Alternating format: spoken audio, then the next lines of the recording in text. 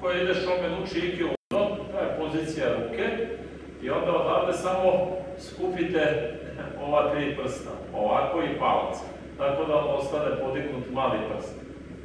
Znači, kad uradite pokret šomen uči undo, šaka stoji ovako i onda samo skupite ostale prste osim malog prsta. Parter uzme ko se nasloni ovako podlakticom na vaš mali prst i drugom rukom na šaku i.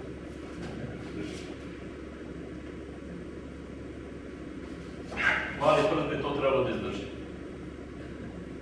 Znači, još jedan puta, uradite pokret šomen uči iki undo, ostavite mali prst stačkeno i usmerenje je kroz taj mali prst gore.